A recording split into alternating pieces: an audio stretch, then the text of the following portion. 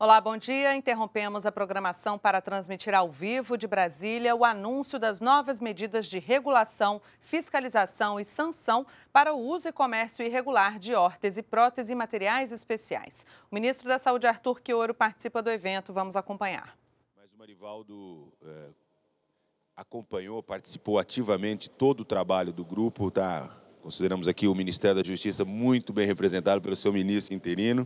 Quero saudar a Lumena secretária de Atenção à Saúde, o Nard, Antônio Carlos Nard, secretário de Vigilância, o Jabas Barbosa, secretário de Ciência, Tecnologia e Insumos Estratégicos. É, em nome deles, agradecer a toda a equipe do Ministério da Saúde, saudar também ao Ivo Bucareschi, nosso presidente interino da Anvisa, ao Zé Carlos Abraão, é, presidente da ANS, que também foram duas é, instituições cujos técnicos participaram de maneira muito importante eh, do grupo de trabalho. Quero saudar, em nome do Jurandir Frutuoso, todos os secretários estaduais que também tiveram uma participação muito ativa, para todas as reuniões, uma importante contribuição, assim como ao José Enio Sevilha Duarte, representando os secretários municipais de saúde. Ana Paula Soter, nossa secretária executiva, eh, o Lucas do CAD, o Amauri da Senacom, eh, o Gabriel Sampaio da Secretaria de Assuntos Legislativos do Ministério da Justiça. Não sei se tem alguém do Ministério da Fazenda que também participou com a gente. A Silvana, nossa chefe de gabinete, que coordenou pelo Ministério da Saúde, junto com assim, um trabalho muito especial, o Fogolin, que também teve um grande envolvimento. Bom, é, essa, essa coletiva, ela. E desculpe, assim, eu até quero fazer um comentário. Se faço uma coisa que normalmente em coletiva a gente não faz, que é citar todas as os técnicos, autoridades, é porque de fato ela expressa 180 dias de muito trabalho né, de vários setores do Ministério da Saúde, do Ministério da Justiça, do Ministério da Fazenda, né, e nós ah, faremos hoje a apresentação do relatório, a síntese do relatório, que já estará disponibilizado na íntegra na internet dando a maior transparência possível. O que eu vou fazer aqui é uma apresentação sintética é, do relatório é, do Grupo de Trabalho Interinstitucional de Órtese e Prótese, que foi criado pela portaria, passo próximo, portaria interministerial número 38, de 8 de janeiro de 2015, que responsabilizava os Ministérios da Saúde, da Justiça e da Fazenda é, no sentido de propor medidas para a reestruturação e ampliação da transparência dos processos envolvendo as hortes, próteses e materiais especiais. E com a expectativa de que nós pudéssemos trabalhar em toda a cadeia produtiva, ou seja, produção, importação, aquisição, distribuição, utilização, atributação, avaliação e incorporação tecnológica, regulação de preço e o aprimoramento do uso através da regulação clínica e do acesso dos usuários aos dispositivos. Então, é, é, acho que é importante, pode é porque nós tivemos é, este escopo de trabalho. Desde o início, é, os jornalistas que acompanham lembram a coletiva que eu e o ministro Zé Eduardo Cardoso demos lá no, no Ministério da Justiça, nós deixamos claro que o trabalho de investigação é, das, das ações é, delituosas, elas ficariam sob responsabilidade dos órgãos competentes, da Polícia Federal, do CAD, né? e que nós nos debruçaríamos sobre este objeto definido na portaria, ou seja, de propor uma reestruturação do tema, né? enquanto os órgãos competentes agiriam no sentido das medidas é, punitivas, da investigação e punição de responsáveis por infrações nesse campo. Então, o grupo foi composto, no caso do Ministério da Saúde, pela SAS, pela Secretaria de Ciência Tecnológica, pela pela ANS, é por isso que eu fiz questão de agradecer, mas nós acabamos tendo envolvimento de várias outras áreas do Ministério da Saúde. No Ministério da Fazenda, a CEAI, a Secretaria de Acompanhamento Econômico, o Ministério da Justiça, representado pela Senacom e pelo CAD, e, como eu disse, com envolvimento direto do secretário executivo, Marivaldo, e, no caso dos estados e municípios, eh, pelo CONAS e pelo CONASENS, que participaram ativamente de todas as atividades nós tínhamos o prazo de 180 dias para a conclusão dos trabalhos. E hoje, exatamente hoje, se completam os 180 dias e nós estamos muito felizes é, por ter conseguido concluir a etapa é, de avaliação, diagnóstico é, e os trabalhos deste grupo no prazo de 180 dias.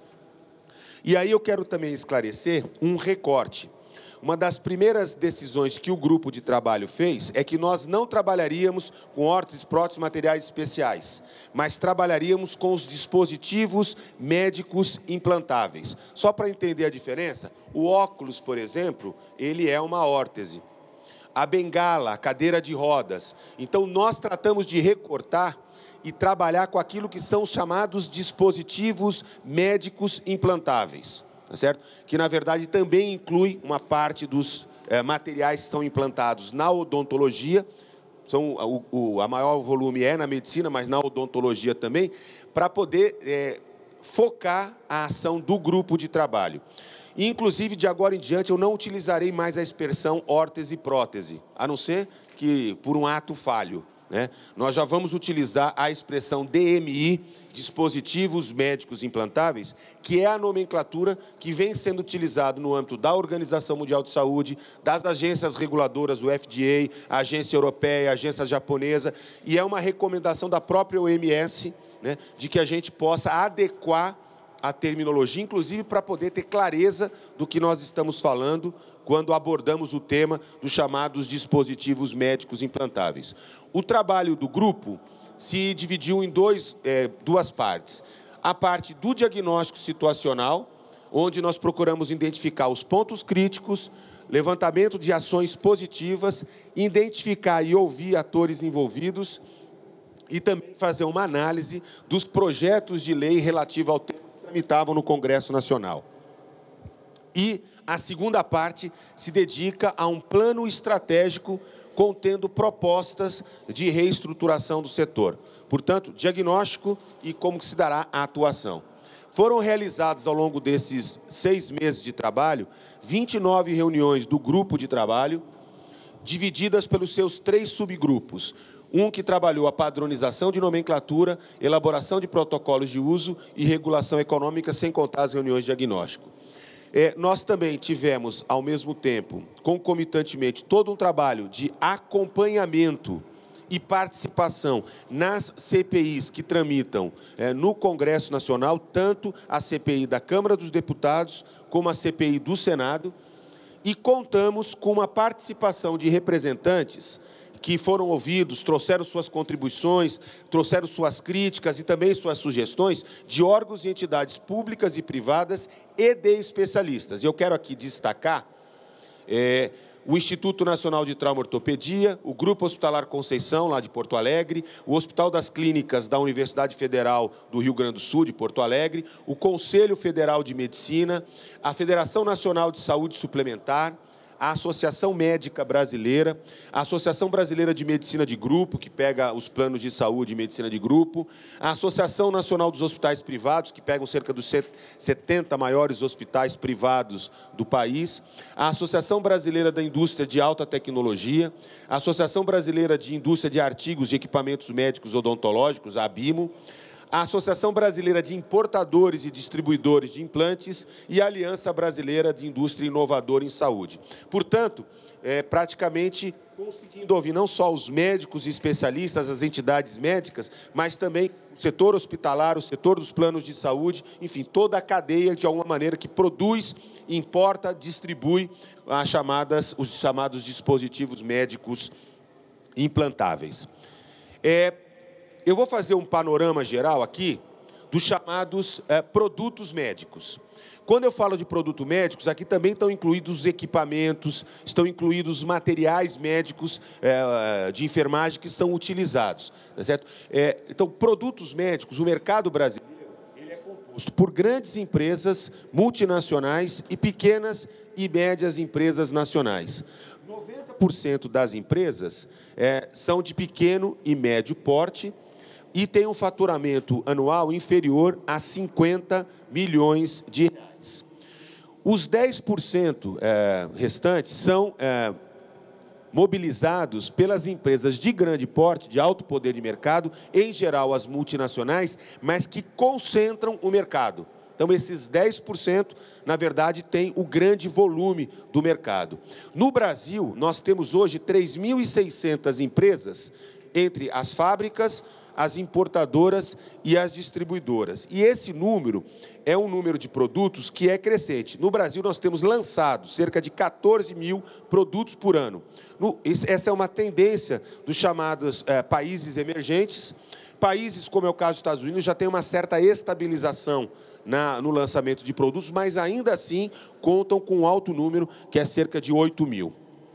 Esse mercado geral dos produtos médicos, no ano passado, aqui não entra medicamentos, certo? Não entram vacinas, aqui são produtos médicos.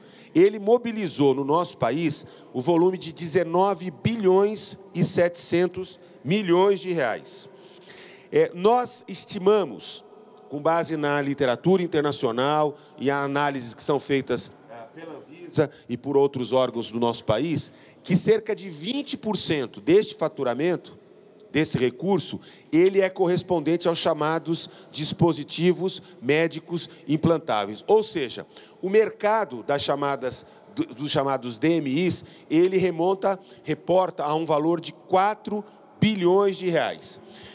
O setor de produtos médicos tem um crescimento anual é, de 15% ao ano né, nos países emergentes, seguindo uma tendência em todo o mundo que é maior que outros setores da economia. Só que quando a gente olha o faturamento no Brasil dos chamados dispositivos médicos implantáveis, entre 2007 e 2014, ele teve um crescimento da ordem de 249%. Ou seja, ele é um grupo de produtos médicos que se descola por ter características é, de faturamento que tem, vem num ritmo de crescimento completamente diferente da média dos chamados produtos médicos. E o número de empresas atuantes nesse setor, ele aumentou, tem outro microfone? Ele aumentou é, na faixa de 44% de 1999 a 2008. A maioria dessas empresas estão concentradas em São Paulo, no estado de São Paulo, e, em particular, no interior do estado de São Paulo, onde estão eh, concentradas 45, oi, oi, 45% eh, das empresas que produzem eh, dispositivos médicos implantáveis.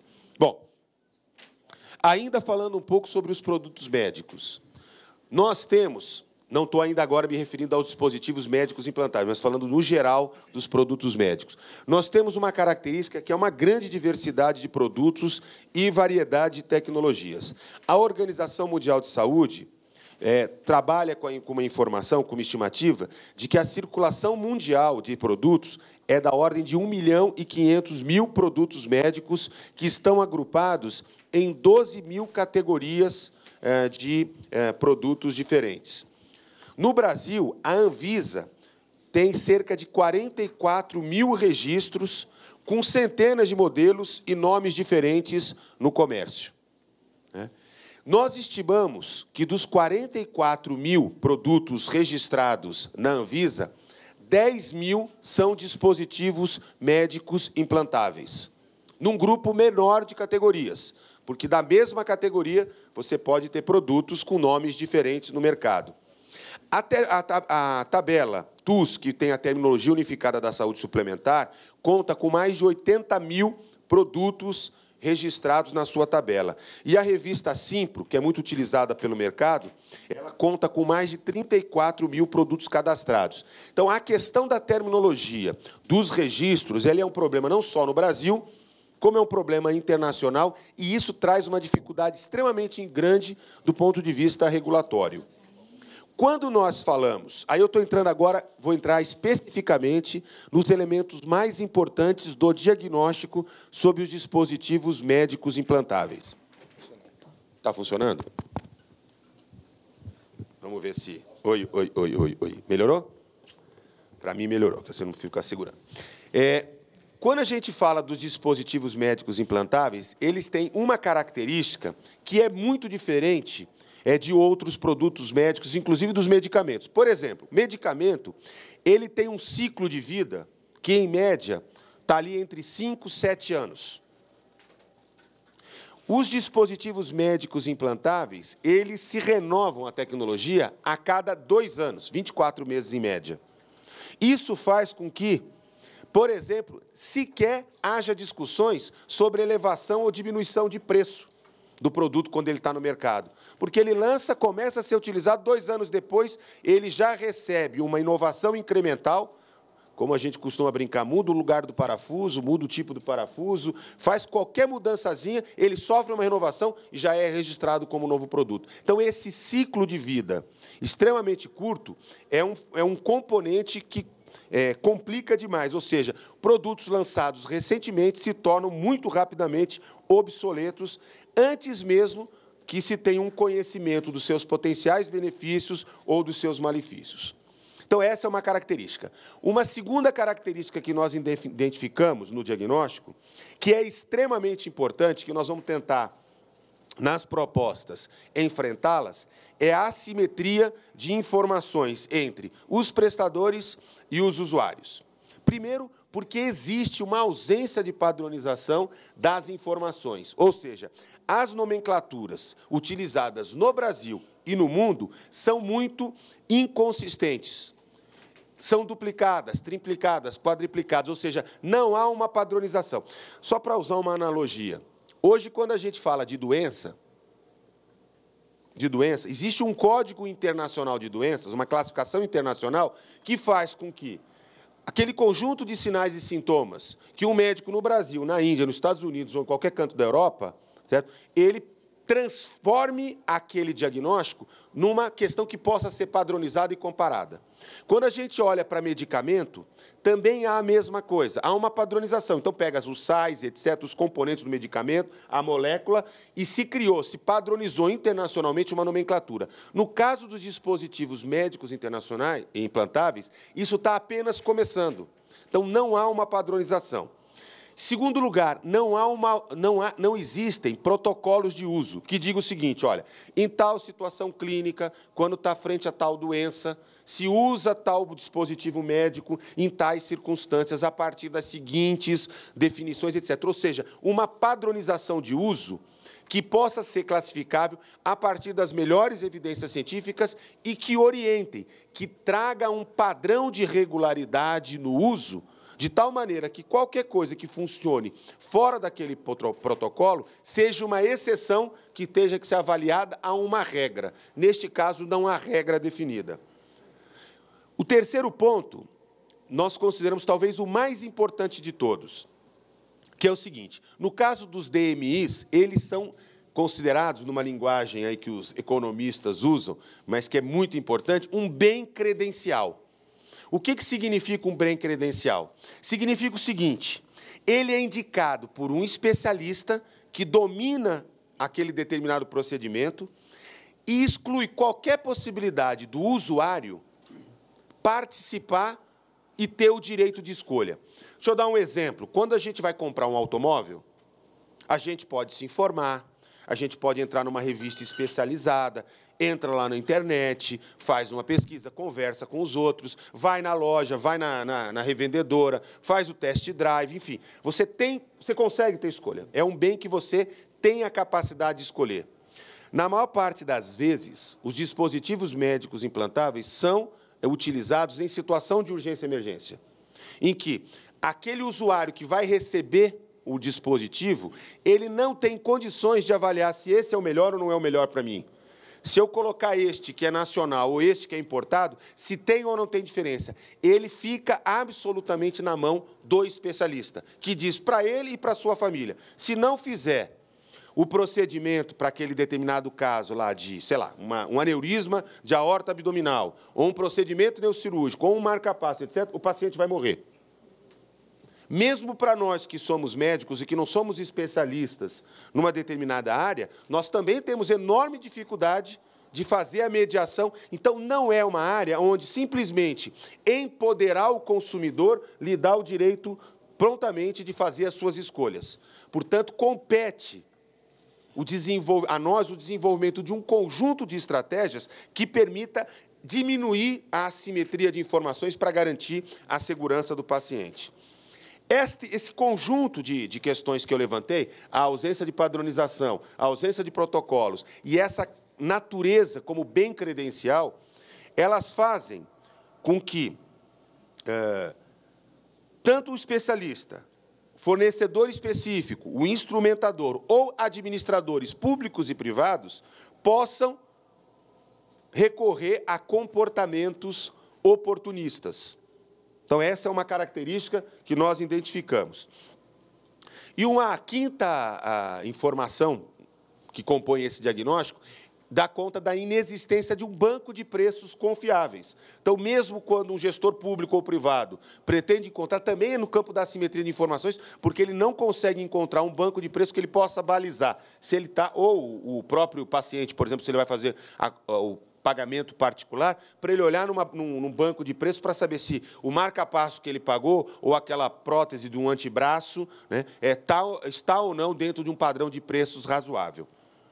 Bom, para entender a cadeia de produção, também é preciso entender, e nós estamos tentando, procurando agir em toda a cadeia, no fabricante, no distribuidor, no hospital, na operadora de saúde pública, no gestor público e entre o especialista, porque, na verdade, tanto o hospital como a operadora, como o gestor público, não são eles que fazem a indicação para o uso é sempre o especialista. Então, o especialista, seja ele o médico ou o cirurgião dentista, tem um papel preponderante na definição dessa cadeia de produção e uso dos eh, dispositivos médicos implantáveis. Uma outra, um outro diagnóstico que nós chegamos diz respeito à grande variação de preços. É absurdamente inexplicável, quer dizer, ah, vamos tentando explicar agora né, o que nós uh, encontramos do ponto de vista de variação de preço. E isso tem a ver com a concentração de mercado nas grandes empresas, com o total descolamento do preço praticado no Brasil em relação ao preço internacional, eu vou mostrar um exemplo em relação a isso, a reserva de mercado, então, nós encontramos distribuidores exclusivos por região, que acabam adotando preços muito diferentes para o mesmo produto. O CAD vai agir rigorosamente nesse sentido, né, porque há uma cartelização, há a definição de territórios em que apenas uma distribuidora entra, tá certo? e o mesmo produto acaba adotando em diferentes regiões do país e não se explica por escala, não se explica por logística essas diferenças de preço encontrado. Porque até poderia dizer, olha, ah, na região norte se compra uma quantidade menor e por não ter a mesma escala, não se consegue obter o mesmo preço na negociação. Mas não se trata dessas características. São características, é, de fato, é, de, de práticas que são inadequadas. Um baixo poder de negociação, né, é, em particular para os pequenos hospitais, para as pequenas operadoras de plano de saúde, para os municípios de menor porte. Práticas anticompetitivas acabam gerando preços muito diferentes para o mesmo produto, produtos similares. Eu vou mostrar também um exemplo. Um outro problema muito sério que eu também vou mostrar um exemplo para vocês agora, a agregação da margem em cada etapa de comercialização vai fazendo com que o preço final fique muito acima do custo original e essa agregação de preços, de margens, são, é, inclusive, ilegais, irregulares. Pequenas alterações do produto levam a aumentos injustificáveis, então faz uma pequena variação no tamanho do parafuso, no lugar onde está o parafuso e o preço dispara. Né? Então, é o exemplo que eu estava dando da chamada inovação tecnológica incremental do curto tempo, muito menos voltada para um benefício do que voltada para, naturalmente, majoração de preços eh, no mercado. Certo? E essa grande variação de preços ela acaba não se justificando como eu disse, nem por transporte, nem por logística, nem pela oferta dos instrumentos, acessórios que são necessários para o uso do transplante. Né? Não sei se vocês têm essa informação, mas muitas vezes o distribuidor coloca no centro cirúrgico um profissional que, com as ferramentas e com a ah, formação especializada para apoiar os cirurgiões, os médicos, o especialista na implantação daquele dispositivo médico implantável. Mas mesmo isso não justifica a majoração. Deixa eu dar alguns exemplos. Marca-passo CDI, apenas o gerador. Né? Região Sul, 30, o mesmo produto, 34 mil. Na região Sudeste, 40 mil. Na região Centro-Oeste, 45. Nor Nordeste, 50 mil. No Norte, 65 mil reais, variando o mesmo produto de 29 a 90 mil reais. O exemplo aqui embaixo, o nosso colega aqui, cinegrafista, está um pouquinho na frente, mas é implante coclear. Tá? Na região Sul, 55. Sudeste, 65. Tem uma variação de preço de 10 mil entre a região sul e sudeste, não há o que explique. 75 mil no centro-oeste, 65 mil no nordeste, 75 mil, com uma variação entre 45 mil e 90 reais entre preço mínimo e máximo. O estente coronariano com droga, preço mínimo 4 mil, preço máximo 22, variando no sul 6,5, no, no sudeste 8, centro-oeste 8 mil e meio, nordeste também, norte 12.500. E o estente metálico não recoberto, com preço variando entre 450 reais e 4.900 reais, saindo de 1.200 no Sudeste, 1.800 no Sudeste, 2.500 no Centro-Oeste e no Nordeste e 3.500 no Norte do país. Então, é, isso mostra né, e se explica pelo aquele conjunto de elementos que eu me reportei anteriormente. Vamos pegar um outro exemplo. É, de um estudo recentemente publicado pela Organização Mundial de Saúde, que mostra o mesmo produto, o marca-passo, estudo de 2010, que na Alemanha custava 3.518 dólares, no Brasil 20.523, na Espanha 7.382, na França 5.546 e em Portugal 3.811 dólares. O mesmo produto, é certo? É, esse produto especificamente fabricado na própria Alemanha, que é talvez a grande produtora mundial de, de, de dispositivos médicos implantáveis. Mas, se nós não olharmos atentamente para essa questão dos preços praticados internacionalmente, tanto na área pública como na área privada, nós não vamos enfrentar a situação. Próximo.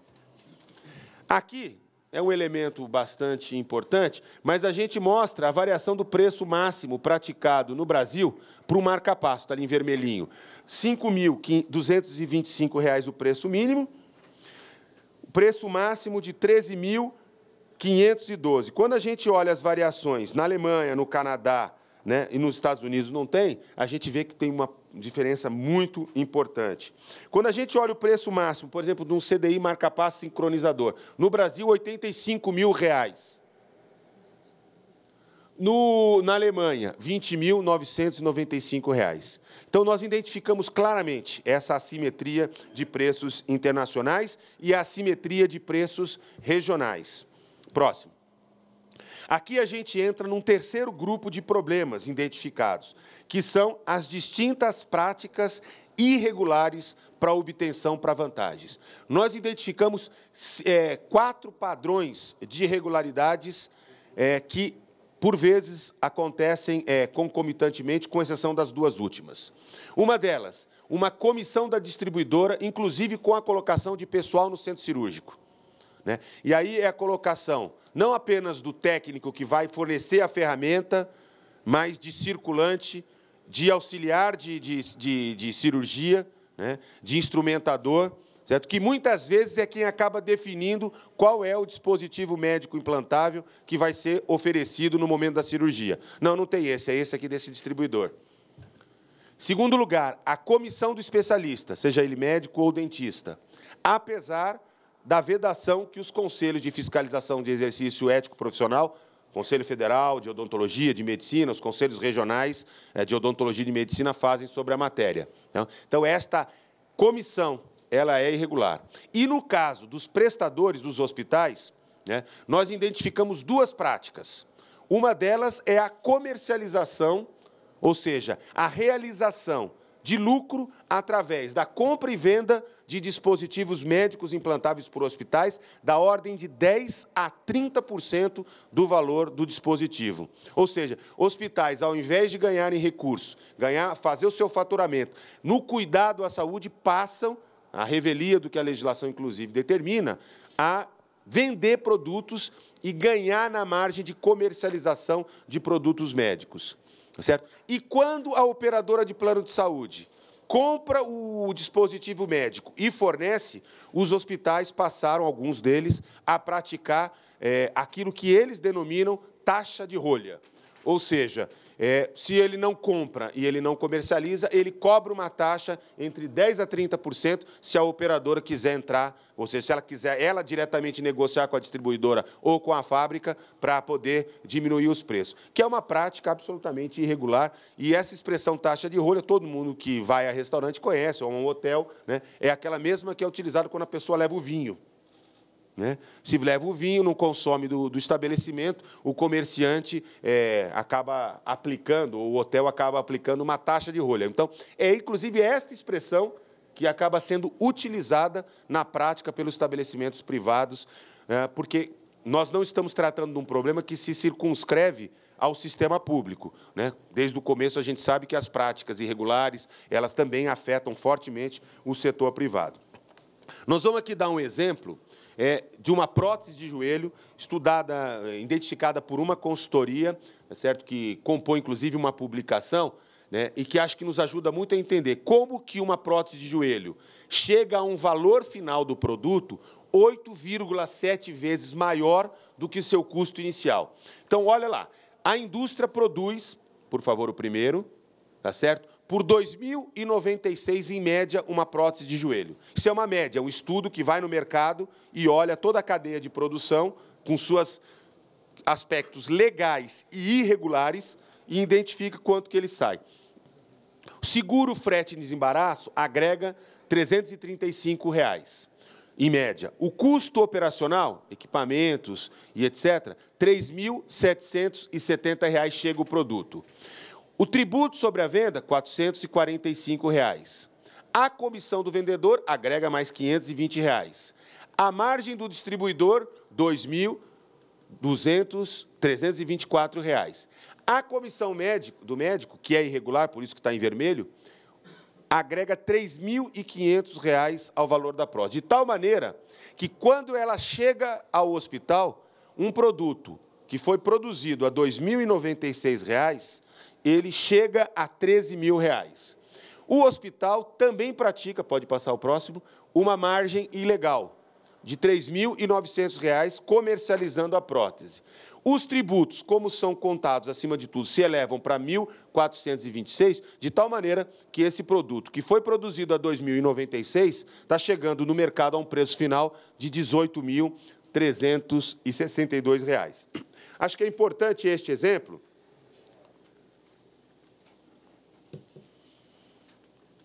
porque ele acaba se reproduzindo.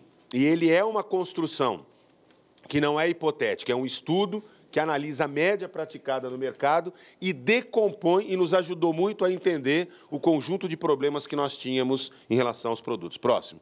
Então, este, em síntese, claro que no documento do grupo de trabalho adicional esses, esses dados estão muito mais bem analisados, aprofundados, os aspectos econômicos, é, tributários, etc.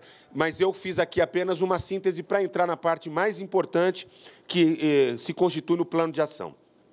O plano de ação ele é composto de cinco grandes eixos: Regula medidas de regulação sanitária, medidas de regulação econômica, medidas de regulação do uso, ações no campo da gestão do SUS e proibições e penalidades. Próximo.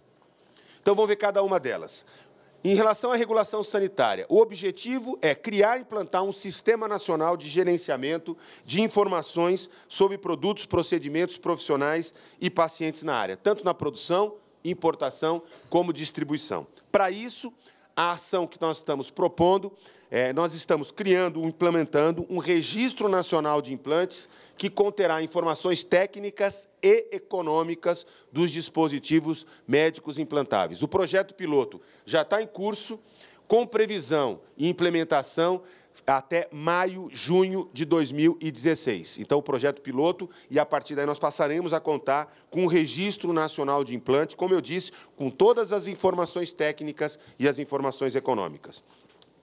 Ainda no campo da regulação sanitária, nós estamos, é, temos o objetivo de padronizar a nomenclatura para poder qualificar os processos envolvendo toda a cadeia produtiva, as medidas de regulação sanitária e econômica, de monitoramento de mercado e de acesso aos produtos. Para isso, nós estamos desenvolvendo uma medida que é identificar os, 10, os cerca de 10 mil dispositivos médicos implantáveis registrados na Anvisa, adotar a nomenclatura e classificação única desses produtos, baseado no GMDN, que é a, tendência que o FDA, que a Agência Europeia, que a Organização Mundial de Saúde tentam vão fazer, compatibilizar a nossa nomenclatura, a nomenclatura utilizada internacionalmente, até para que o nosso banco de preços possa poder dialogar e a gente comparar coisas que são comparáveis, tá certo? E condicionar isso ao processo de registro sanitário. Então, os novos produtos que vierem a ser registrados serão registrados já a partir da nova nomenclatura, mas também rever os cerca de 10 mil. A gente nem consegue ter identificado com precisão, hoje nos registros, quais são os dispositivos médicos implantáveis, mas promover a revisão de todos esse, esse conjunto de informações para que eles possam. E isso vai ter início imediato e duração até 2017, que é o tempo necessário para colocar todo esse registro é, nessa nova sistemática. No campo da regulação econômica, o segundo grande eixo. Então, o objetivo é fazer a equiparação dos preços praticados no mercado nacional aos valores praticados no mercado internacional. Então, a ação é nós vamos elaborar uma proposta legislativa para a aplicação do modelo de preço de referência externo. Nós estamos constituindo um grupo de trabalho interministerial envolvendo agora, além dos três ministérios que já estão trabalhando, a Casa Civil e o Ministério é, do Desenvolvimento, Indústria e Comércio, que vai elaborar no prazo de 30 dias uma proposta, colocar em consulta pública para que a gente possa é, desenvolver essa proposta legislativa ainda este ano. Então, no máximo, em 30 dias, nós vamos concluir essa análise agora envolvendo a Casa Civil e o MIDIC, para que a gente possa colocar em consulta pública uma medida visando a equiparação de preços internacionais. Uma segunda medida na, no campo da regulação econômica é a estruturação da base de dados nacionais para poder permitir o um monitoramento econômico do mercado, maior transparência e a adoção de ações de redução da chamada assimetria de informações. E, para isso, nós vamos, mais do que criar simplesmente um banco de preços, nós vamos criar um sistema de informação para monitoramento do mercado. Né? Este mesmo grupo de trabalho interministerial também vai desenvolver no prazo de 30 dias essa proposta, inclusive nós já estávamos avançando sobre ela no grupo de trabalho, mas sentimos a necessidade na medida em que vai ser necessário um projeto legislativo, que vai precisar desenvolver uma série de decisões, envolver o MIDIC e a Casa Civil, mas em 30 dias nós concluiremos e colocaremos em consulta pública. Uma terceira medida, ação, no campo da regulação econômica, o objetivo é ampliar a oferta e aumentar a concorrência no campo dos dispositivos é, médicos implantáveis. E, para isso, nós vamos elaborar propostas que flexibilizem a importação e, ao mesmo tempo, possam produzir aumento é, na produção nacional e redução de preço.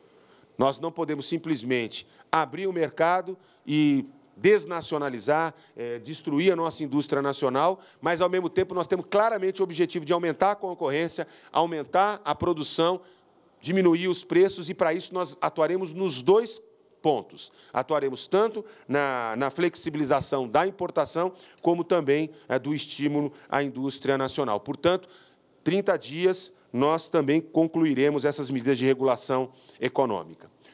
O terceiro eixo é o da regulação do uso. Né? E aí o objetivo é garantir a segurança, passa uma a uma, por favor, tá? Garantir a segurança uh, do paciente do uso racional dos dispositivos médicos implantáveis por meio de adoção de boas práticas para aquisição, indicação e utilização. Quais são as, as medidas? Primeiro, a produção do manual de boas práticas para aquisição e utilização dos materiais já está concluído e nós vamos iniciar a distribuição imediata é, desse manual de boas práticas. Uma segunda ação é a criação de normas para autorização do dispositivo. Nós já estamos desenvolvendo essa ação, é, nós vamos é, entregar sete normas de uso, as primeiras sete normas de uso, priorizamos as áreas de ortopedia e de cardiologia em outubro deste ano e será dado continuidade ao trabalho de elaboração de normas de autorização para as outras áreas de cardiologia, de é, ortopedia, mas também de neurocirurgia, cirurgia vascular, odontologia, enfim, as outras as outros dispositivos médicos implantáveis. E nós, a terceira ação é, nós vamos desenvolver uma estratégia de qualificação de profissionais e técnicos, tanto na área pública como na área privada, que atuam na área clínica e cirúrgica, mas também aqueles que atuam no ciclo de compra, de acondicionamento, de gestão de estoque, controle auditoria, técnico-vigilância, para garantir o uso racional. Para isso, a Fiocruz, através da Universidade Aberta do SUS, vai desenvolver toda uma estratégia, aliás, já começou a preparar toda uma estratégia é, de capacitação, cursos à distância, que nós vamos fazer, e o primeiro curso nós já pretendemos começar em dezembro deste ano. Por que dezembro deste ano? Porque nós dependemos, nós precisamos de uns dois meses, de 60 dias de preparação, é, a partir do momento que finalizar as normas de autorização. Porque só com o manual de boas práticas, o manual de boas práticas é uma parte as normas de autorização complementam os elementos necessários para a formação. Então, a partir de dezembro, a gente começa o processo de formação das equipes que atuam, como eu disse, não só na área clínica, mas toda a cadeia de controle é, das, das órteses e próteses. Um quarto eixo de atuação é na área da gestão do sistema. Nós queremos gar garantir maior transparência e informações aos usuários do SUS, nos quais foram implantados os dispositivos médicos, ampliando tanto a qualidade do serviço, mas também o controle feito pelo SUS. Para isso, nós vamos implementar o envio da carta SUS para os pacientes submetidos às intervenções que envolvam DMI. 100% dos pacientes que tiverem AIH que registra o pagamento de dispositivo médico implantável receberão a carta do SUS informando no dia tal, no hospital tal, pelo médico tal, foi feito a implantação de um DMI que custou tanto, o senhor não pode ter pago nada, porque o serviço foi totalmente gratuito, qualquer problema. Então, é um mecanismo de envolver, de dar transparência e fazer com que os usuários possam ser protagonistas também do controle da transparência e da segurança desses procedimentos implantados. Então, 100% dos DMIs, eh, das pessoas que tiverem, dos usuários do SUS, receberão a carta SUS. Ainda com o objetivo de monitorar e fiscalizar o uso, nós vamos definir uma agenda de trabalho do Sistema Nacional de Auditoria do SUS, não apenas do DENASUS, do Ministério da Saúde, mas também dos, dos sistemas de auditorias dos estados e das prefeituras, para que a gente possa realizar com frequência, com periodicidade, auditorias operacionais e analíticas destinadas à apuração das irregularidades. Nós estamos partindo do pressuposto, primeiro, que nós vamos ter que garantir que o conjunto de medidas que estão sendo definidas, tomadas e que serão implantadas ao longo dos próximos meses e anos serão efetivamente colocadas eh, em cumprimento. E, em segundo lugar, nós reconhecemos que este é um mercado que tem aquela dimensão da renovação tecnológica num prazo muito curto e, portanto, nós precisamos nos antecipar para poder identificar que tipo de práticas estão sendo estabelecidas, utilizadas nos nossos serviços que fazem a implantação de dispositivos médicos.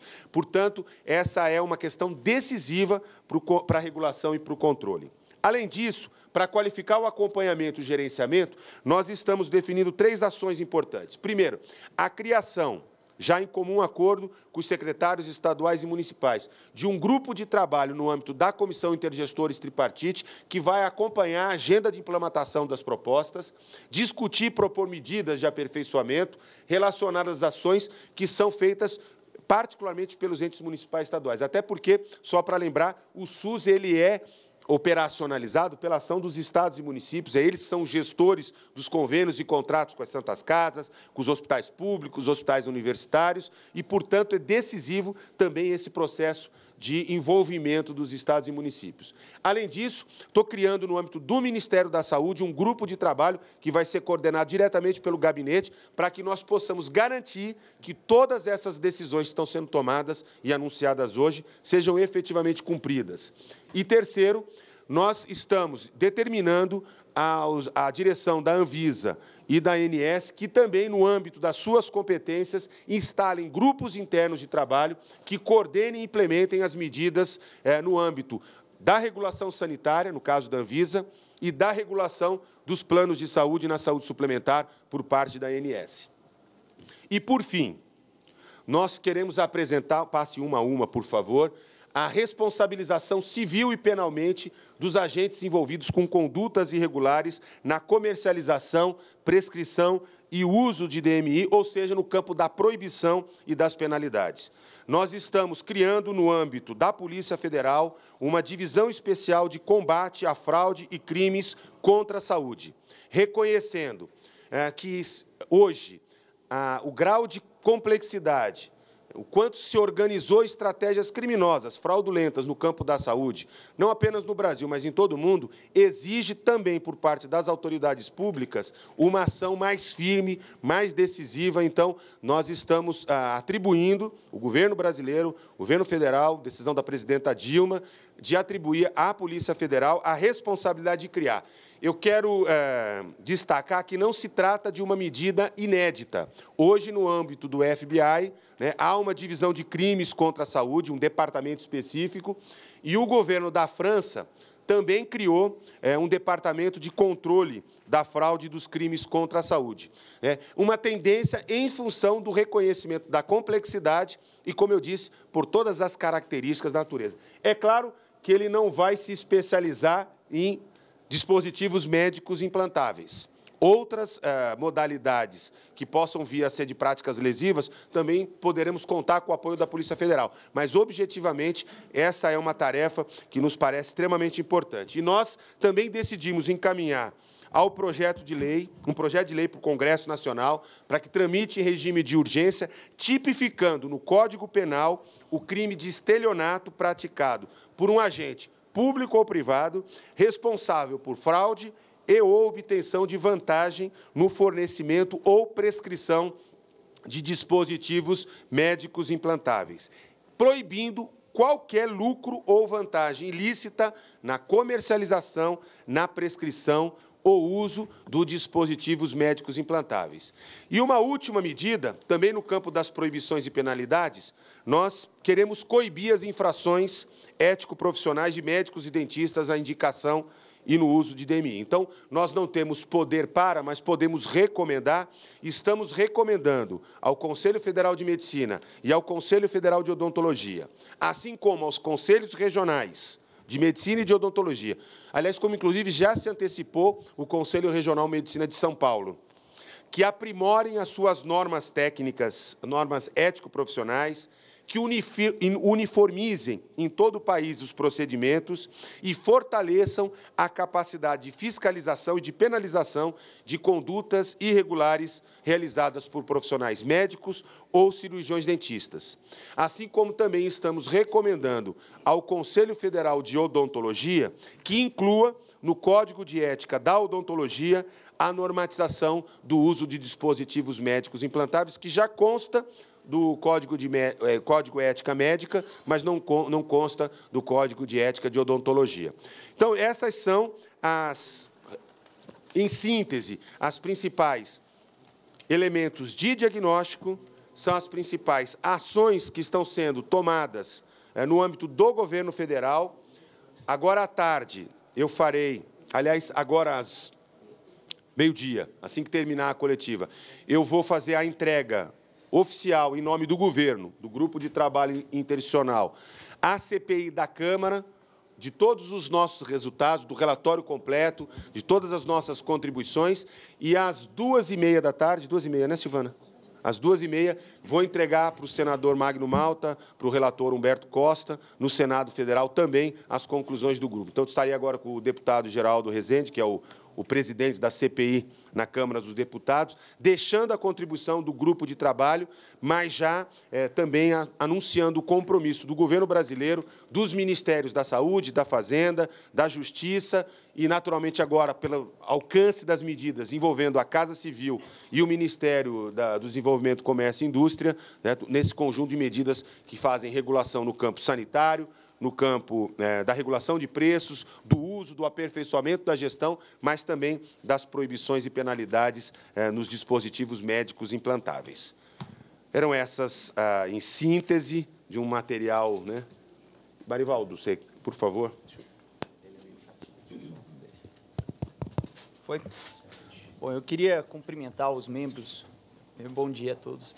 Queria cumprimentar os membros do grupo de trabalho pelo excelente trabalho desenvolvido e queria cumprimentar o ministro Quioro pela liderança em todo esse processo, desde que o tema veio à tona, o ministro incansavelmente vem dialogando junto ao Ministério da Justiça e os outros ministérios para a construção de saídas para resolver o problema, tendo como foco central a preocupação com o usuário, que é a parte mais fraca, a parte mais fragilizada de toda essa cadeia e que é pego no momento de maior fragilidade ainda né? que é o momento em que você mais precisa, você mais precisa do serviço e você ali acaba sendo vítima de todo um, um, um, uma cadeia, um esquema que, que acaba causando muito sofrimento.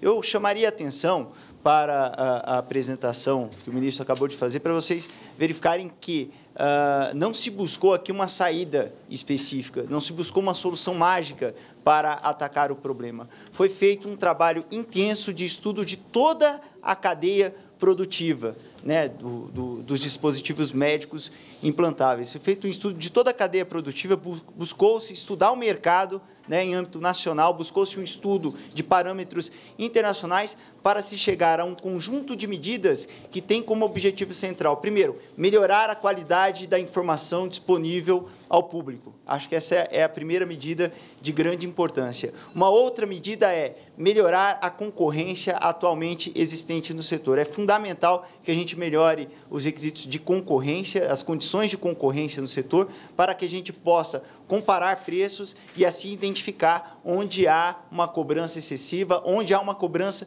indevida. E ao final de tudo isso, depois da criação de todos esses parâmetros, nós temos a questão punitiva, seja no âmbito administrativo, seja no âmbito penal, que é o projeto que deve começar a tramitar no Congresso Nacional eh, logo após o recesso. Ou seja, há um trabalho bastante consistente que buscou identificar os gargalos desde o início da cadeia até o seu término, que é o usuário final, e para que dê certo, é, é, certamente contará com o empenho de estados, municípios aqui do Ministério, mas é fundamental, e o ministro colocou muito bem, o protagonismo do usuário. Sem sombra de dúvida, ainda o melhor controle que temos é o controle social, é a participação do usuário que se sente lesado, buscando os meios, os, os órgãos existentes para que denuncie para que é, é, busque uma efetiva punição de todos aqueles que é, se aproveitarem dessa situação de é, fragilidade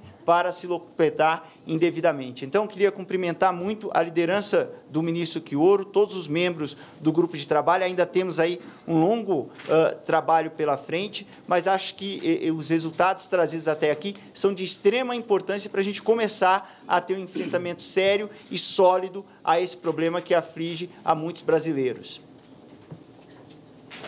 Vamos abrir, né?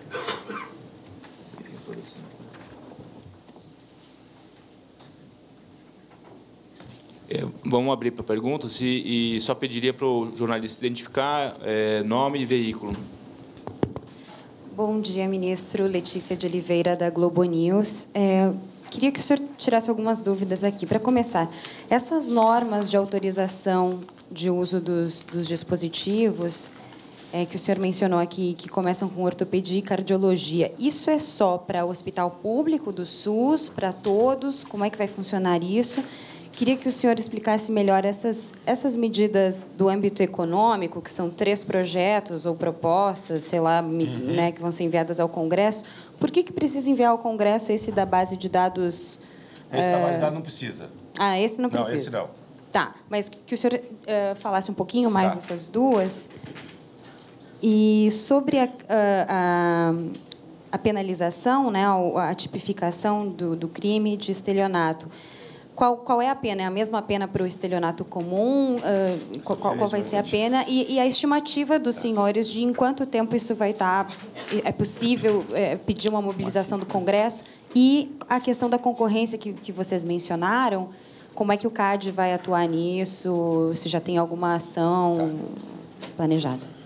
Devo responder as duas primeiras e as duas, as duas últimas que envolvem a questão da criminalização, eu vou deixar para o ministro da Justiça, para o Marivaldo, poder responder.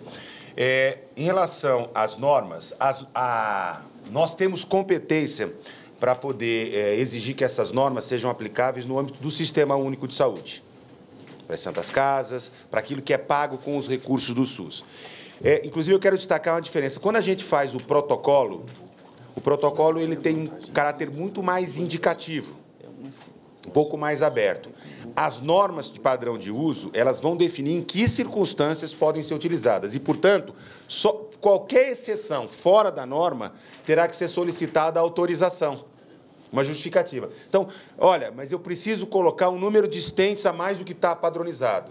Por exemplo, eu preciso colocar alguma coisa diferente. Nós não vamos tolher o direito do especialista, mas ele vai ter que justificar muito bem e, um, e, e vai ter que ser autorizado por quem tem capacidade de autorizar essa questão. Agora, a tendência é que as normas de padrão de uso, progressivamente, passem a ser adotadas pelas operadoras de plano de saúde e pelos hospitais privados como um padrão também. Por quê? Porque elas não estão sendo construídas de maneira aleatória. Elas são fundamentadas nas evidências científicas. Nós estamos envolvendo não só os técnicos do Ministério da Saúde, da INS, mas as próprias sociedades de especialistas. Portanto, há todo um trabalho que é, legitima a importância, que qualifica e garante ao usuário a segurança de que aquilo que está sendo feito com ele é aquilo que está recomendado pela literatura científica, que tem segurança, tem eficácia comprovada.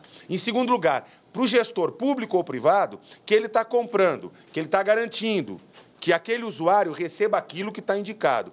E ao especialista, seja ele um médico ou um dentista, se ele está atuando dentro do padrão de normas, isso dá segurança profissional. Por quê? Porque ele está agindo coerentemente com aquilo que é preconizado. Então, nós consideramos que as normas são essenciais para garantir segurança para o paciente e uso racional. Por isso que a tendência é que a ANS lidere o processo junto ao mercado, às operadoras de plano de saúde e aos prestadores, para que elas possam ser aplicadas também à rede privada. Agora, o que nós temos competência no âmbito da comissão tripartite, e eu tenho como ministro, é de obrigar esse, que esses critérios sejam praticados no âmbito do Sistema Único de Saúde. Só, só ministro, claro. complementando aqui, isso não pode é, retardar ou, ou, atrapalhar ali, na, se for uma coisa de, de emergência, né, ele tiver que é, justificar, é, isso, isso pode, essa esse tempo de autorização pode prejudicar o paciente? Pois é, já sabendo dessa possibilidade, as,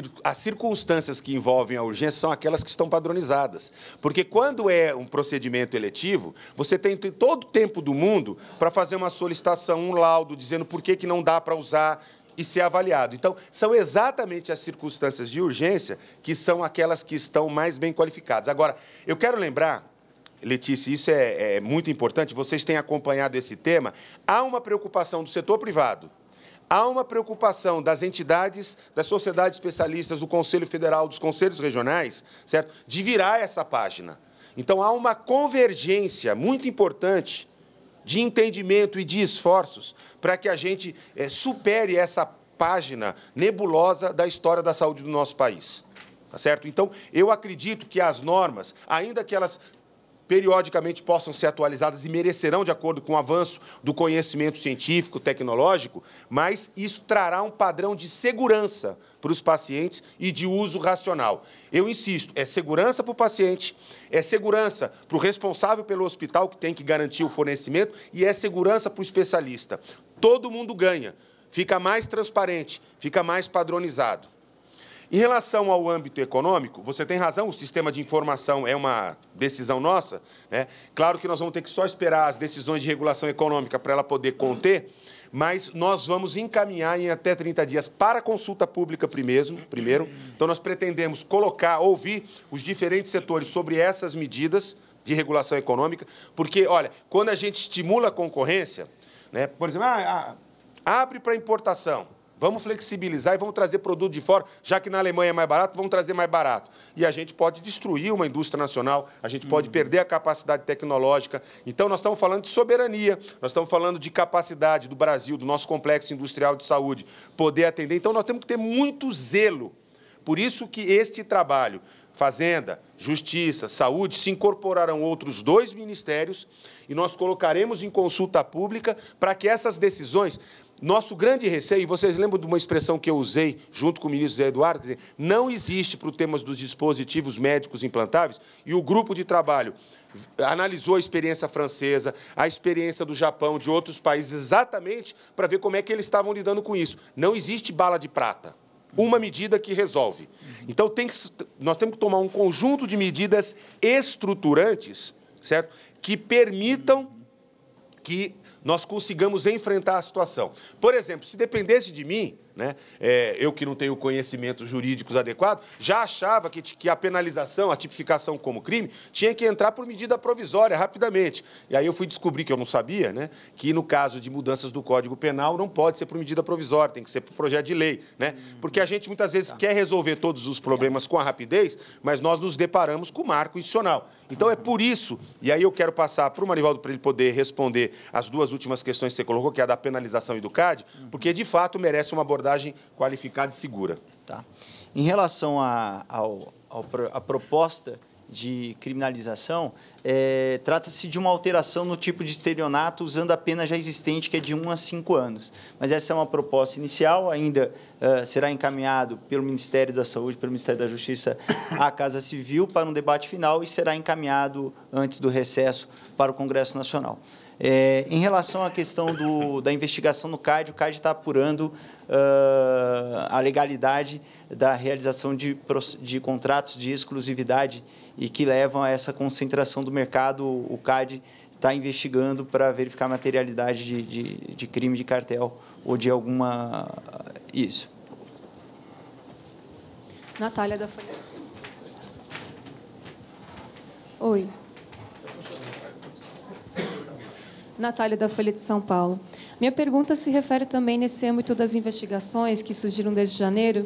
Eu lembro que foi afirmado na época, quando até a Polícia Federal, o Ministério da Justiça anunciou junto com o Ministério da Saúde, que os, havia sido gasto em 2013 no SUS cerca de 1,9 bi com órteses, próteses, etc. E haveria a possibilidade de pedir ressarcimento desses valores. Queria saber se já há previsão de um possível ressarcimento por conta dessas fraudes. Como é que está isso no âmbito das investigações? O que já pode ser adiantado em relação a possíveis penalizações ou próximas medidas nesse aspecto? E também queria entender melhor como é que fica em relação aos protocolos clínicos, né? Vocês falam em, em criar em anunciar boas práticas, né? Em, enfim, manuais de boas práticas. Mas eu queria saber se vai ter algum protocolo específico.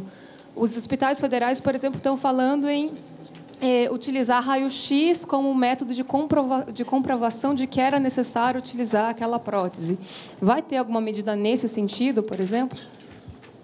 Natália, olha, é, em relação à primeira questão da auditoria, o grupo de trabalho intencional, esse que nós estamos anunciando, como eu disse, nós não nos tomamos como nossa responsabilidade do grupo fazer a investigação e a fiscalização de casos. Uhum. Nós deixamos essas responsabilidades aos órgãos competentes. Nós temos o DENASUS, que é o componente federal do Sistema Nacional de Auditoria, certo? que já tinha realizado uma auditoria sobre o tema em 2013, que está em fase de ressarcimento, e todas as denúncias, todas as suspeitas de irregularidade, eles desencadeiam processos de auditoria, sejam pelo componente estadual ou componente municipal, ou pelo componente federal, que é feito pelo Departamento Nacional de Auditoria.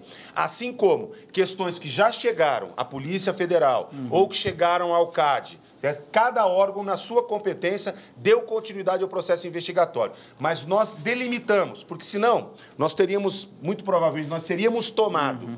por o processo de olhar para trás e o grupo de trabalho é, é, interministerial, ele se preocupou de desenvolver a estratégia estruturante, ou seja, para frente, sem prejuízo da competência de cada órgão de continuar o seu trabalho de investigação, de apuração e de tomar a responsabilidade, inclusive com ressarcimento.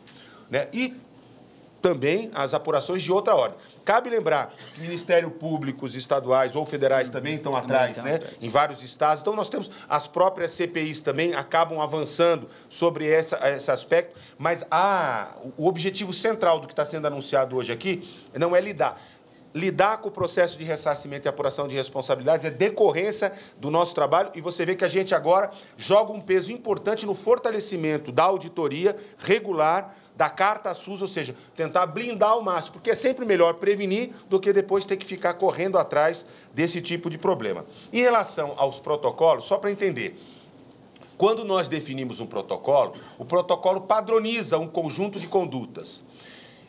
As normas de padrão de uso, elas vão além. Elas são muito mais rigorosas do que o protocolo. O que nós decidimos para o DMI certo? Porque quando o protocolo, o protocolo fica indicativo. Você deve, se sugere que seja utilizado nessas circunstâncias. Os bons gestores acabam trazendo o protocolo, discutem com as equipes e os implantam. Regulam, fazem regulação clínica para que eles sejam executados. Mas fica uma margem de liberdade maior para o profissional. Claro que ele assume a responsabilidade se ele prescreve, usa fora do protocolo. Com as boas práticas e o padrão de normas de uso para indicação, porque as boas práticas são como é que compra, como é que armazena, como é que distribui. Nas normas de uso, nós estamos dizendo o seguinte: a utilização se dará nessas circunstâncias. Se o paciente tem esse, esse e esse problema, usa isso. Se ele tem aquele aquela outra característica clínica, usa outra. E nós não definimos sozinho, nós envolvemos as sociedades de especialistas, como disse. É uma avaliação extremamente técnica, baseada nas melhores evidências científicas, análise de custo-benefício, para não deixar margem para a utilização inadequada. Porque, infelizmente, lembra da história do bem credencial? Que eu estava me referindo, é exatamente nessa margem. Eu sou o especialista, você é o paciente, portanto, tenha paciência e use o que eu estou mandando. Nós estamos invertendo, nós estamos dizendo o seguinte: eu sou o especialista. Você vai continuar definindo quando usa, mas o como você usa e até o quando você usa vai estar subordinada a um padrão de normas de uso tecnicamente definido e aprovado pelo Ministério da Saúde, que nós esperamos que seja aqui naquilo que eu estava respondendo para a Letícia, né, certo? que seja incorporado como uma prática também nos serviços privados. Porque senão nós vamos ficar com duas características. Nós vamos ficar no âmbito do SUS com um padrão e no setor privado outro. E isso não é, é adequado. É, inclusive, olha, só confirmando, eu pedi para confirmar se já tinha, se o Fundo Nacional de Saúde já enviou para os municípios realizarem a cobrança do ressarcimento daquelas auditorias. Se eu não me engano, dava mais de 600 mil reais de restituição, por volta de 600. Depois eu te dou com certeza, que eu não tenho agora, eram quase 600 mil reais de restituição daquela auditoria já realizada pelo DENASUS. Tá? Já está agora na fase de cobrança do, do ressarcimento. O que me impede a gente continuar fazendo daqui para frente? André de Souza, do Jornal o Globo. É, gostaria de saber como é que vai funcionar essa divisão da Polícia Federal, se vai ser realocado o pessoal que já trabalha lá, ou se vai ter um concurso público para é, suprir essa, essa nova divisão, e quantos, é, quantos agentes, quanto, qual pessoal né, que vai, de fato, trabalhar na divisão. A definição do quantitativo, a Polícia Federal está fazendo esse estudo, deve publicar uma portaria logo mais. A ideia é criar uma unidade de inteligência com foco no combate de crimes contra a, a saúde, não só o tema específico do, dos DMIs, mas um foco na, nos crimes e fraudes contra a saúde, tendo em vista o impacto que isso tem para os, cofres, para os cofres públicos, mas não só isso, o impacto que isso tem no dia a dia de cada cidadão que demanda a saúde pública. É importante colocar que uh, todas as questões discutidas nesse tema não, não acabam alcançando apenas, exclusivamente, hospitais públicos. Né? Uma vez que, como amplamente divulgado, eh, esse problema acaba alcançando também hospitais privados. Então, todo avanço que nós tivermos nessa área, o benefício é para toda a sociedade, seja ela usuária de serviços públicos ou privados de saúde. Então, essa, essa unidade da polícia também vai ser muito importante para isso. Um outro ponto também que é central Uh, uh, para se compartilhar é que toda a investigação da Polícia Federal uh, não só resulta na apuração de inquéritos, mas também traz uma série de subsídios para que a própria administração pública se adapte e corrija eventuais brechas existentes nos procedimentos para impedir que essa fraude volte a acontecer. Então, nesse sentido, tudo aquilo que se investigou até agora, tudo aquilo que se discutiu, tanto na Polícia Federal como no CAD, é, vem, tem contribuído substancialmente para a construção de medidas é, inovadoras para que isso, para pensarmos o futuro, para evitar que essas, essas práticas voltem a acontecer. Uh, não sei se está pronta ainda, talvez saia entre hoje e amanhã. Olá, bom dia, bom dia a todos, Gabriel do G1. É, então, vocês disseram que estão acompanhando aí as comissões é, durante todo esse trabalho. Eu queria perguntar para vocês se o governo acredita que essa lei pode ser acolhida de forma é, positiva pelos deputados? Como é que o governo acredita que isso vai chegar lá, se vai enfrentar resistência? É, sobre a CPI da Câmara, a assessoria me disse hoje que deve ser apresentado o relatório final hoje. Então, o que vai dar tempo de incluir aquilo que foi visto aqui no relatório? O que, que o senhor vai discutir lá na Câmara hoje mais tarde? Obrigado. Não, de nada, Gabriel. É muito boa a sua pergunta, porque é o seguinte, é, até acho que complementando um pouco a, a, também a, a questão que a Letícia já tinha levantado, é, nós temos, nós fizemos, o desenvolvimento do grupo de trabalho aconteceu concomitante ao trabalho da CPI. E foi muito harmônico. Em vários momentos nós tivemos colaborações, não só eu fui é, convidado e fui, inclusive, abrir tanto a CPI do Senado como a CPI da, da Câmara, é, trazendo as nossas contribuições. Os nossos técnicos apoiaram e acompanharam todo o desenvolvimento, assim como ao longo desses meses nós também tivemos diálogos com os, presidentes e relatores das CPIs. É, ontem, eu, a CPI do Senado ainda tem, se eu não me engano, vai até setembro, né? Vai até setembro, tem um pouquinho mais de tempo.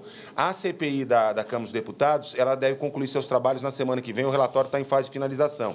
Mas nós já fizemos uma apresentação, essa apresentação que eu fiz hoje a vocês, nós já fizemos a eles, nós já remetemos o material a eles, de tal maneira que eles também poderão aproveitar elementos do nosso grupo de trabalho.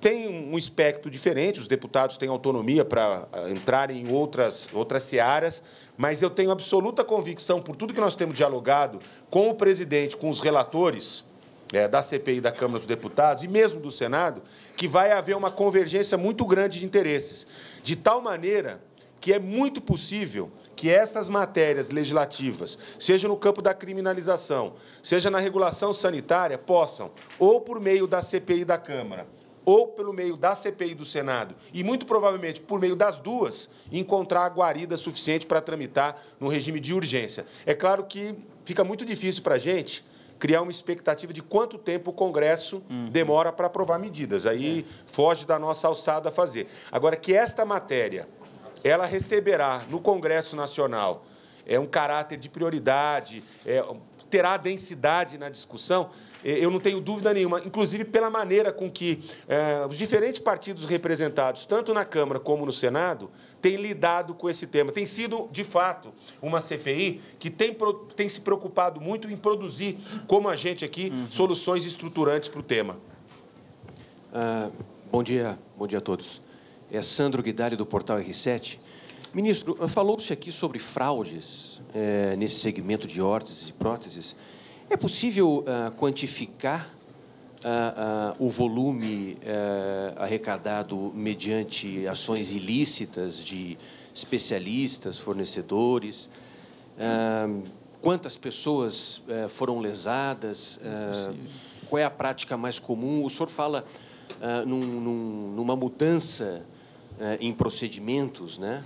Em, em, boas maneiras, etc. Mas Uh, o que nós temos aqui refere-se a, a, a, um mau uso dessa prática ou é possível também aferir a, a quantidade de dinheiro, digamos assim, que é, é, é ganho ilicitamente? Sandro, infelizmente nós não, não, conseguimos chegar a esse dimensionamento. Né?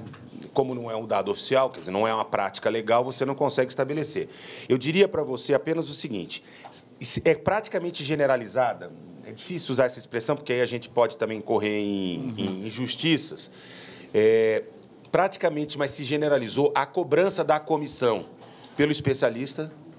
Muitos especialistas, não são todos, mas muitos especialistas passaram a cobrar, tanto no setor público como no setor privado.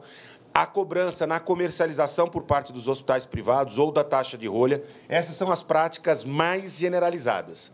Mas nós temos relatos que estão sendo investigados pelas autoridades competentes, como eu disse, inclusive é, de é, implantes feitos desnecessariamente, implantes que não foram implantados e que foram ah, cobrados. Aí são práticas, assim, mais lesivas ainda, além de irregulares, quer dizer, elas entram para um outro patamar, se a gente pode qualificar, tipificar as irregularidades. Por isso que é muito importante é, resgatar uma dimensão ética.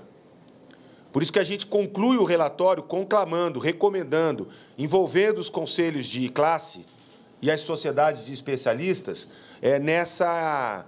E eu tenho certeza que vai ter guarida isso, porque ninguém, como eu disse, precisa virar essa página da nossa história, essa página muito ruim da nossa história, mas é, envolve é, desmontar quase que uma, que uma prática que ia sistematizando, que ia se consolidando na saúde pública e privada brasileira. Uh, só. Mas eu não consigo te uhum. quantificar. Só complementando brevemente a minha pergunta, claro. é possível é, dimensionar o custo que o Estado tem com essa prática? Não. O que nós conseguimos é, dimensionar foi uma estimativa de quanto que se gastou em 2014 com dispositivos médicos implantáveis, que foi os 4 bilhões. O gasto uh, público e privado. Público e privado. Total, tá certo? Essa é uma estimativa. Por quê? Porque nós gastamos quase 20 bilhões com produtos médicos nacional e internacionalmente se trabalha com uma ideia de que é por volta de 20%. Então, por estimativa. Agora, a partir do momento que nós tivemos o sistema de informação, que nós tivemos os registros, aquela regulação sanitária qualificada, nós vamos conseguir para frente saber com exatidão quanto que se gasta com dispositivos médicos implantáveis, que tipo, quantos por paciente, enfim, por estado. Por... Aí nós vamos conseguir ter o conjunto de informações. Isso é decisivo para melhorar, enfrentar a questão da assimetria, porque não é só o usuário, o gestor público, o gestor privado, eles também ficam numa relação muito assimétrica. Então, nós temos que enfrentar estruturalmente. Agora, nós, é, do ponto de vista da investigação, do quanto que se lesou, quanto que se desviou, quanto que se auferiu de maneira irregular, nós não conseguimos. Por isso que é importante estancar, ir para frente tá certo? E continuar os processos de investigação que estão em curso. Né? Eu diria para você o seguinte: a expectativa que nós todos temos é que isso não terminará em pizza, não. Uhum. Certo? Tem não só a CPI da Câmara como do Senado estão muito envolvidas com isso, mas há um trabalho do Ministério Público em vários estados, há o trabalho da Polícia Federal, uhum. do próprio CAD. Quer dizer, quer dizer é, é, e é uma situação que ela chegou no limite. Né? Vocês vejam que eu não falei da judicialização.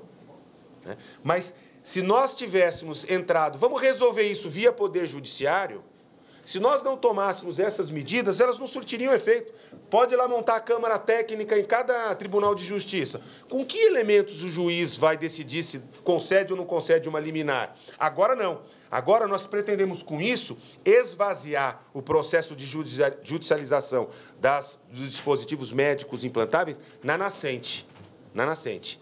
Porque a causa Está aqui. Não será fácil. Nós não teremos da noite para o dia o problema resolvido. Uhum. Tá certo? Porque tem uma série de lições de casa que demoram, vão devolver, é, exigir o esforço de trabalho e tempo de consolidação das estratégias. Mas que elas serão tomadas, que elas estão armadas. Quer dizer, nós vamos ajudar a virar essa página. Eu não tenho dúvida nenhuma.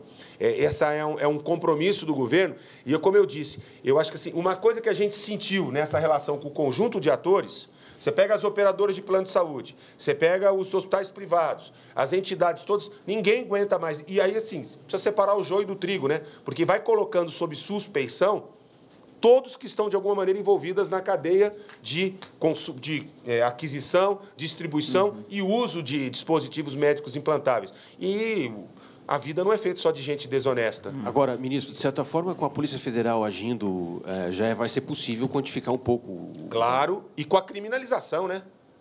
Olha, nós, nós estamos atuando assim mexendo estruturalmente em tudo que tem que mexer, mas estamos reconhecendo que isso não bastará, que ainda assim haverão aqueles que tentarão levar vantagens ilícitas. Portanto, haverá o trabalho da Polícia Federal, haverá a criminalização e o esforço de solicitar aos conselhos de eh, eh, fiscalização do exercício ético profissional que aperfeiçoem as ações que já estão em curso para a gente também poder pegar uma outra ponta. Ou seja, nós estamos tentando agir em todos os ramos. Se a gente olha de novo o objetivo do grupo de trabalho, lançado no início de janeiro, a gente vai ver que a gente de fato conseguiu dar conta é, de armar a equação para enfrentar o problema em todas as esferas. E agora é fazer as ações, monitorar, ter os pontos de controle para que efetivamente elas aconteçam. E no caso específico daquilo que demandará projeto de lei ao Congresso, contar com o envolvimento dos parlamentares na Câmara e no Senado, que se mobilizaram nós tivemos essa felicidade de ter as CPIs concomitantemente, porque isso fortaleceu muito. Ou seja, nós teremos um grupo de senadores e deputados é muito um debate muito qualificado, ou seja, eles estão muito enriquecidos de informações e sabendo as medidas e, de uma maneira muito clara, sintonizadas com as decisões que nós estamos tomando na nossa esfera, sem prejuízo de outras que eles possam vir tomar. É, Carla Maia, da TV Brasil. É, eu fiquei com dúvida em relação a essa nomenclatura do DMI. Vocês retiraram todas as órteses e, e permaneceu só as próteses é, implantáveis é. externa e interna, ou as Isso, órteses interna. não entram mais? É, na verdade, é, já tinha a ver com a própria órteses, próteses e materiais especiais, nós estávamos falando de coisas diferentes. Só que internacionalmente não está se utilizando mais o PME está se usando, no caso específico, a, a, nomenclatura dispositivos médicos implantáveis. Então, aquele antebraço que você coloca lá, né, o, a nova cabeça do fêmur, o marcapasso, aquilo que é implantável, mesmo na área de odontologia, você tem lá os implantáveis móveis e os fixos, mas vai se definir cada vez melhor, com mais clareza, quais são os procedimentos e os registros. Porque um dos grandes problemas assim, o que, que era dispositivo médico implantável? A própria definição não estava claro. Você registrava como produto médico lá na Anvisa, então confundia com é, um estetoscópio com uma, na mesma classificação. Então, agora não, agora nós vamos usar um registro internacional. Então, eu quero olhar preço, eu consigo comparar com o que está usando na Alemanha, nos Estados Unidos, na França, etc. Eu quero usar indicação do uso, é possível comparar, porque nós vamos conseguir falar do mesmo elemento, da mesma coisa. Então, é uma complexidade tecnológica de uma área que tem inovação. E ainda bem que tem inovação né? porque a inovação salva a vida, ajuda a melhorar a qualidade de vida. Mas ela também é utilizada de maneira inadequada como para oferir lucro desmedido né? e para esse conjunto de coisas. O senhor colocou em relação às irregularidades dessa eh, cobrança de comissão por médicos e hospitais, isso hoje ele pode ser regulado apenas é, pelo Código de Ética ou é possível hoje uma punição criminal ou isso só vai se dar quando você passar esse projeto de lei? Não, vamos lá, olha.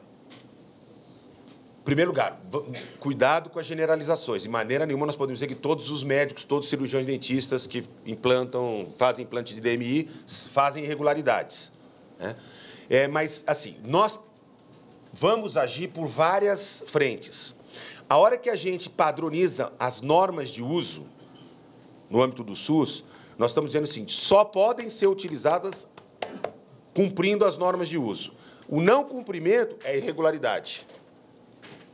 Nós vamos ter os aspectos criminais, ou seja, a investigação se aquilo é uma prática lesiva, que é uma prática que pode ser tipificada como uhum. crime e aí a partir daí a proposição da ação e etc e tal para poder é, qualificar. E existe uma outra ponta que é de responsabilidade do Conselho Federal de Medicina, do Conselho Regional de Medicina, do Conselho Federal de Odontologia, do CRO, que é a fiscalização do exercício ético profissional, que também pode prever sanções, punições é, relacionadas àquilo que está previsto nos códigos de éticas da categoria, que pode desde advertência, suspensão do exercício profissional ou até cassação do exercício profissional. Então, não são questões que, é, como eu diria, elas concorrem, elas se somam no sentido da gente poder. Agora, o que nós tínhamos era, você pega, por exemplo, o, a norma de São Paulo, do Conselho Regional de Medicina de São Paulo, já é mais, como é que eu diria assim, mais, não é o que é mais avançada, mas ela está mais trabalhada para inibir esse tipo de coisa. Então, precisa padronizar no Brasil inteiro. Então, por isso, nós estamos recomendando ao Conselho Federal de Medicina, aos conselhos regionais, que reavaliem o que, que eles podem fazer no âmbito da sua competência para ampliar, aperfeiçoar aquilo que já fazem para nos ajudar, ajudar o Brasil, ajudar a saúde pública, a saúde privada e principalmente os usuários mas sempre com cuidado para não generalizar. Não podemos dar a impressão né, de que todos os médicos ortopedistas, todos os cirurgiões cardíacos cometem irregularidades. Não é verdade, tá certo? Ainda que a gente tenha um problema de grande magnitude no país hoje. Eu só complementando, eu acho que no âmbito penal, hoje já é possível, dependendo da situação, você fazer enquadramento. O que o projeto vai fazer é facilitar esse enquadramento, uma vez que as situações são as mais complexas possíveis. Então, por exemplo, se você tem hoje um profissional que é, faz um, um implante né, de, de, de um dispositivo sem necessidade, ele pode ser enquadrado ali por uma lesão corporal. Né? Então você pode enquadrar ele aí. Agora há situações, é, essa é uma situação extrema, né? Entre essa situação e a outra, eu, do profissional que simplesmente recomendou um produto inadequado porque receberia uma maior comissão, e essa, tem uma distância muito grande, e isso dificulta muito os órgãos responsáveis pela investigação de se apurar e buscar a efetiva punição. Por isso a busca de uma legislação específica. Só para te lembrar uma coisa, por definição, os dispositivos médicos implantáveis, eles são sempre relacionados a atos cirúrgicos, tá? Eles são implantados por um ato cirúrgico. Tá bom? Porque, é... Só para clarear um pouco mais o conceito.